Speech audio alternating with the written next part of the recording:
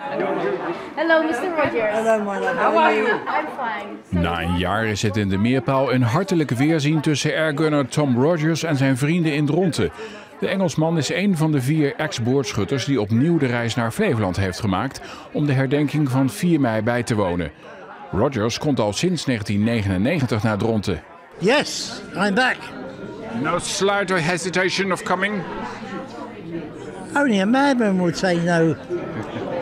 Only a madman. No, of course I come back, and I want to come back for a few more years yet. It's never discussion in, at home. Shall I go? Shall I not go? Oh God, no. No, there's never a question mark. The only question mark out is can I live a lot? Can I live a lot more longer? Yeah. Yeah. yeah. Um, I want to celebrate my hundredth year here. And you are now? 92. Mike Davis is al 30 keer in Dronten geweest. Ook bij hem en zijn vrouw is er nooit discussie of ze moeten gaan. No, no, it's we will come here as long as our hosts have us, and uh, as long as we can make it. Herriot um, has got some other problems with, uh, so provided he is fit enough to have us, and, and Willie is willing to look after us, then we'll we'll get here because um, there's not many of us left now. Inderdaad zijn er dit jaar nog maar vier airgunners in Dronten aanwezig. Harry Irons, de markante Brit die jarenlang met zijn auto naar Dronten reed, heeft dinsdag op het laatste moment afgezegd vanwege zijn gezondheid. De Britten waarderen de aandacht die er voor hun is als bevrijders van Europa.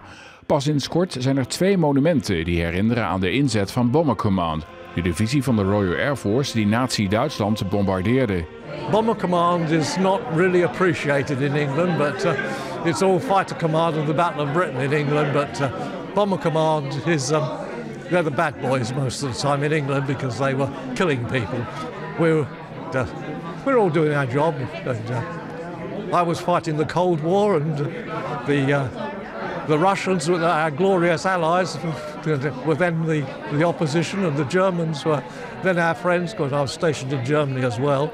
And uh, but uh, it was uh, we did our best, and we doing what we we were like all forces. We did as we were told, and uh, that was it really.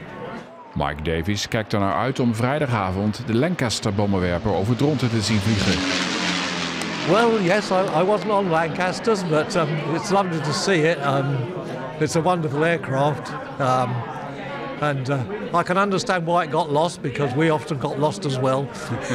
Very often. Even with all our modern equipment, we still, still occasionally got lost. Daarmee verwijst de Brit naar 2014, toen de Lancaster het centrum van Dronten voorbij vloog.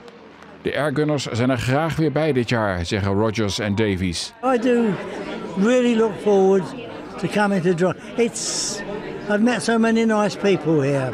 Well, enjoy your stay. We will. We always have done. We've been doing it for a long time now. Lovely seeing you. Yeah, yeah, yeah. Uh,